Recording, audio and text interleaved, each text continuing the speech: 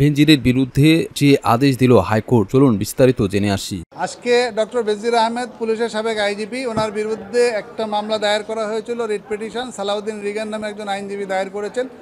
উনি ইনঅ্যাকশন এবং failure of the Dudok anti corruption commission এইটা চ্যালেঞ্জ করে মামলা দায়ের করেছিলেন। ওনারা একটা নোটিশও দিয়েছিলেন আর পত্রিকা, কালের কণ্ঠের যে রিপোর্ট হয়েছে, সেই পত্রিকাগুলি ওনারা অ্যানেক্স করেছেন। যে পত্রিকায় রিপোর্ট হওয়ার পরেও দুদক কেন অ্যাকশান নিতে পারে নাই? সেই জন্য এই রিট পিটিশনটা দায়ের করেছিলেন। আমরা doctor Benazir Ahmed, respondent number five, ওনার পক্ষে আমি এবং সিনিয়র অ্যাডভোকেট সাইদ আহমেদ রাজা সহ আমরা অনেকেই দাঁড়িয়েছিলাম। সেখানে আমাদের বক্তব্য ছিল যে যেহেতু অলরেডি গত আঠারো আদালতের কাছে আসতে পারবে বা যে কোনো কর্তৃপক্ষের কাছে যেতে পারবে, সেটা কিন্তু ফান্ডামেন্টাল প্রিন্সিপাল অফ স্টেট কিন্তু একজন নাগরিককে তার মৌলিক অধিকার, ন্যায় বিচার পাওয়ার এবং সংক্ষুব্ধ হলে পরে জুডিশিয়াল রিভিউর আন্ডারে হাইকোর্ট ডিভিশনে আসার যে অধিকার হান্ড্রেড এবং টুতে হান্ড্রেড টুতে দেওয়া হয়েছে। সেটা হলো তার মৌলিক অধিকার এবং যেটা গ্যারান্টেড দেখা যাচ্ছে যে এই ধরনের নির্দেশনা এবং রুল যদি ইস্যু করা হয়, তাহলে অনেক ক্ষেত্রেই যে সংক্ষুব্ধ নাগরিক তার জুডিশিয়াল রিভিউ বা রিট পিটিশনে এসে সেই স্বায়ত্তশাসিত সংস্থা বা সরকারের বিরুদ্ধে প্রতিকার চাওয়ার সুযোগটা কমে যায়। সুতরাং এটাকে আমরা বলেছি যে এই দৃষ্টিতে ওই মামলায় রুল ইস্যু করা সমীচীন হবে না। আরেকটা যুক্তি ছিল আমাদের যে থেকে ইনকোয়ারি শুরু করেছে আফটার টু মান্থস দুদক যেন একটা প্রগ্রেস রিপোর্ট দেয়। এই আচ্ছা উনি আরেকটা সিস্টেম বলেছেন যে সরকারি কোনো কর্মকর্তা বা কর্মচারী যদি রিটায়ারমেন্টে যায় সেখানে ইন্ডিয়াতে একটা আইন আছে সেটা হচ্ছে asset declaration asset declaration law যে অ্যাসেট ডিক্লারেশনের আন্ডারে সেই কর্মকর্তা একটা রিপোর্ট দিবে যখন সে চাকরিতে জয়েন করে এবং যখন সে রিটায়ারমেন্টে যায় তখন তার সম্পদের হিসাব বিবরণী দিবে। এই দুইটার মধ্যে যদি দেখা যায় তার টেন পার্সেন্টের বেশি সম্পদ বেড়েছে তাহলে তার বিরুদ্ধে আইনগত ব্যবস্থা গ্রহণ করা যাবে। ইন্ডিয়াতে এরকম একটা আইন আছে। মহামান্য আদালত বলেছেন, উনি এটাই বলেছেন যে আমাদের দেশ কজ অফ অ্যাকশন আর নাই। এই টেকনিক্যাল কারণেই রিটটা কিন্তু খারিজ হয়েছে, কোনো রুল ইস্যু করা হয়নি। সুতরাং কেন বিফলে যাবে? আমরা প্রথম যেটা হলো যে একটা ডাইরেকশন ওরা চেয়েছিল রুল ইস্যু চেয়েছিল। রুলও হয় নাই ডাইরেকশনও হয় নাই। একটা ডাইরেকশন আদালত দিয়েছে প্রগ্রেস রিপোর্টে জানতে চেয়েছে। এটা কিন্তু আদালত জানতে চাইতে পারে কিন্তু এই এই নির্দেশনার ব্যাপারেও আমরা পরবর্তীতে সিদ্ধান্ত নিব। আমি আপনাদেরকে প্রথমে যে থার্ড তিন নাম্বার গ্রাউন্ড যেটা বলেছিলাম যে একজন নাগরিক যখন কোনো স্বায়ত্তশাসিত সংস্থা যেমন ধরেন অ্যান্টি কারাপশন কমিশন একজন নাগরিকের বিরুদ্ধে সে বেনজির আহমেদ ওনার বিরুদ্ধে আইনগতভাবে প্রগ্রেস হচ্ছে কি হচ্ছে না সেইটার রিট কিন্তু ওনার দায়ের করার ফান্ডামেন্টাল রাইটস গ্যারান্টেড আছে আর্টিকেল লিখিত আদেশ হচ্ছে তখন ওকালতনামা দেওয়ার বিধান আছে আমরা ওকালতনামা দিয়েছি দুদকের কার্যক্রমের উপর আদালতের আদালতের সুপারভিশন এই আদেশ বলে প্রতিষ্ঠিত হয় নাই কারণ আদালত সুপারভিশন করতে চান নাই। আদালত শুধু প্রগ্রেস রিপোর্টটা জানতে চেয়েছেন। আর সুপারভিশনের অর্থ হচ্ছে এইটা তো কনস্টিটিউশন হাইকোর্ট ডিভিশনকে সুপারভিশন করার অধিকার দিয়ে রেখেছে। এটা সবসময়ই থাকে। সকালে চট্টগ্রাম কাপ্তাই সড়কে আগুন জ্বালিয়ে বিক্ষোভ করে চুয়েটের সাধারণ শিক্ষার্থীরা।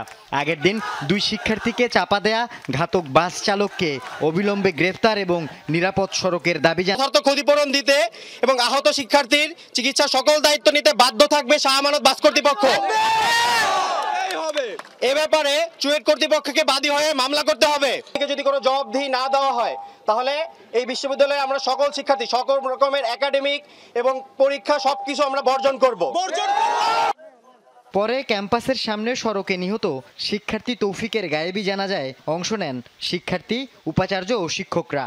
ঘাতক ড্রাইভারকে কীভাবে আটক করা হয় তাকে কীভাবে শাস্তির আওতায় আনা হয় ট্রান্সপোর্ট লাইনের ব্যাপার আছে। গাড়ি চলতেছে শৃঙ্খলা ফিরিয়ে আনতে হবে রোডের মধ্যে স্পিড স্পিড কন্ট্রোলের বিভিন্ন টেকনিক ব্যবস্থা করতে হবে রাস্তায় রোড। বিএফডিসিতে এটি কোনো শুটিং নয়। আমন্ত্রিত সাংবাদিকদের ওপর নেককারজনক হামলা।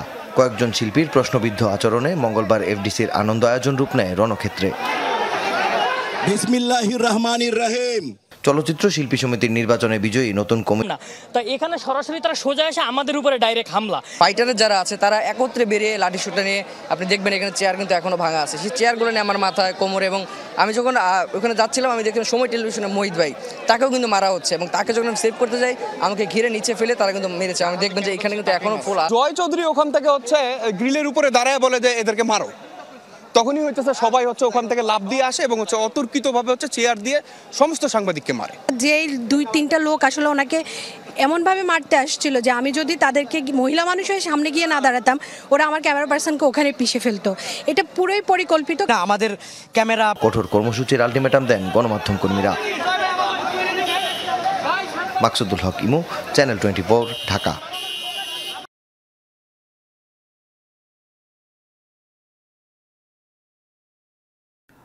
পাবনায় অবৈধ অর্থ লেনদেনের সময় ঘুষের টাকা সহ আটক হয়েছেন পানি উন্নয়ন বোর্ডের দুই প্রকৌশলী। এরা হলেন উপবিভাগীয় প্রকৌশলী মাসুদ রানা ও মোশাররফ হোসেন। ঠিকাদারের সাথে অর্থ লেনদেনের সময় তাদের আটক করে পুলিশ। দিনভর দুদক এবং পুলিশের যৌথ অভিযান শেষে মঙ্গলবার সন্ধ্যায় অভিযুক্তদের নেওয়া হয়েছে হাজতে। মিলন মাহমুদের ক্যামেরায় পাবনা থেকে রিজভি জয় রিপোর্টে বিস্তারিত। মঙ্গলবার সকাল সাড়ে দশটা। পাবো কর্মকর্তা ও ঠিকাদারদের যোগসাজশে ভুয়া প্রকল্প দেখিয়ে বিপুল অর্থ আত্মসাতের কয়েকটি অভিযোগ অনুসন্ধানে পাবনা পানি উন্নয়ন বোর্ডে যায় এটিএন নিউজ টিম। এ বিষয়ে উপ খরচ থাকে। যেগুলো আমরা কোথাও আনতে পারি না, সামনে আনতে পারি না। তো আলটিমেট আমাদের তো খরচ তো করতে হয়। আমরা চাইছি এদের একটা শাস্তিমূলক হোক যাতে এইগুলা অন্যজন না করতে পারে। এরপর পুলিশ ও দুদক যৌথ অভিযানে নামে। অভিযানে তাদের কাছ থেকে পাঁচ লাখ সত্তর হাজার টাকা জব্দ করে দুদক। অবৈধ অর্থ লেনদেনের ঘটনা খতিয়ে দেখার আশ্বাস দিয়েছেন পানি উন্নয়ন বোর্ডের নির্বাহী ও তত্ত্বাবধায়ক প্রকৌশলী। আমরা এখনও কোনো কিছু জানি না তদন্ত না সাপেক্ষে কোনো কিছু বলা যাবে না। ওই ঠিকাদারের সাথে আমার এখানে কোনো ডিভিশনে কোনো মানে সম্পর্কই নেই। কারণ আমি পনেরো দিন একটা জিনিস তৈরি হতে হলে অনেক সময় লাগে। আমার এখানে কোনো বিল নাই কোনো কিছুতে আমার কোনো কিছু সাইন নেই। আমার এখানে কোনো স্বার্থ থাকতেই পারে না। আমরা তদন্ত করে যেটা এদিকে ইসরায়েলি ড্রোন ভূপাতিত করে যে বার্তা দিচ্ছে হিজবুল্লাহ। ইসরায়েলের পাঁচটি ড্রোন ভূপাতিত করেছে লেবাননের সশস্ত্র গোষ্ঠী হিজবুল্লাহ। ফিলিস্তিনি প্রতিরোধ আন্দোলন বিষয়ে একজন বিশেষজ্ঞ স্থানীয় টেলিভিশনে দেওয়া সাক্ষাৎকারে এ তথ্য দিয়েছেন। হানি আল দালি নামের ওই বিশেষজ্ঞ আল মায়েদিন টিভিকে দেওয়া সাক্ষাৎকারে বলেন, ইসরায়েলের বিরুদ্ধে সামরিক অভিযানের মাত্রা বাড়িয়েছে হিজবুল্লাহ। ইসরায়েলের সরকার ও সামরিক বাহিনীর জন্য এর রাজনৈতিক ও সামরিক প্রভাব রয়েছে। এর মধ্য দিয়ে ইসরায়েলকে গুরুত্বপূর্ণ একটি বার্তা দিল হিজবুল্লাহ। হানি আল দালি বলেন, সামরিক এসব পদক্ষেপের মাধ্যমে ইসরায়েলের সামরিক বাহিনীর বিরুদ্ধে সুবিধাজনক অবস্থানে রয়েছে হিজবুল্লাহ। ইসরায়েলের অব্যাহত হামলার মুখে হিজবুল্লাহ নিজেদের সামরিক ক্ষমতা বাড়ানোর চেষ্টা করছে বলে মনে করেন তিনি। রাজনৈতিক বিশ্লেষকদের মতে, বিদ্যমান এই পরিস্থিতির মাধ্যমে এটা বোঝা যাচ্ছে যে ড্রোন সহ আকাশযান শনাক্তের উন্নত ব্যবস্থা রয়েছে হিজবুল্লাহর হাতে, আর এতে হিজবুল্লাহর যোদ্ধারা প্রতিপক্ষের আকাশযান সহজে শনাক্ত করতে পারছে। হানি আল দালির মতে, আকাশপথে ইসরায়েলি নিজেদের যতটা শক্তিশালী মনে করে থাকে, হিজবুল্লাহর এই সামরিক সক্ষমতা বৃদ্ধির কারণে তা কিছুটা হলেও বাধার মুখে পড়েছে। এতে হিজবুল্লাহর নেতা ও যোদ্ধাদের সম্পর্কে তথ্য সংগ্রহে ইসরায়েলি ব্যবস্থা বিকল হয়ে গেছে। ইসরায়েলকে অনেক কিছু করার ব্যাপারে নিরুৎসাহিত করছে। একই সঙ্গে এসব বিষয় হিজবুল্লাহ ও গোষ্ঠীটির মনোবল বাড়িয়ে দিয়েছে। এদিকে ফের হামলা হলে ইসরায়েলকে নিশ্চিহ্ন করে দেওয়ার হুঁশিয়ারি ইরানের। ইরানি ভূখণ্ডের ওপর আবারও কোনো হামলা হলে ইসরায়েলি ভূখণ্ড নিশ্চিহ্ন করে দেওয়ার হুঁশিয়ারি দিয়েছে ইরানের প্রেসিডেন্ট ইব্রাহিম রাইসি। মঙ্গলবার পাকিস্তান সফরের দিনে পাঞ্জাব বিশ্ববিদ্যালয়ের একটা অনুষ্ঠানে এমন হুঁশিয়ারি দেন তিনি। ইব্রাহিম রাইসি বলেন, যদি ইসরায়েল আবারও ইরানের উপর হামলা করে, তাহলে ইসরায়েল নামের দেশ আর অবশিষ্ট থাকবে না। ইরানি প্রেসিডেন্ট বলেন, যদি ইসরায়েল আরেকবার ভুল করে এবং পবিত্র ইরানের সার্বভৌমতাকে লঙ্ঘন করে, তাহলে পরিস্থিতি অতি ভয়াবহ হবে।